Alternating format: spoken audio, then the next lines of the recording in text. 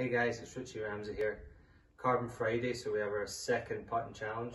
We have the, the putt out mat set up here. We're about six feet away.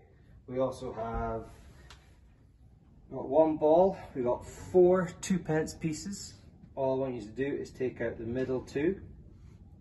This is going to create a gate and the gate is going to be about a grip length from the gate to the ball. We have our carbon cup, so we're going to use that as a target. So I'm going to place that over here. And the idea is that we need to get five balls through the gate and hit in the cup.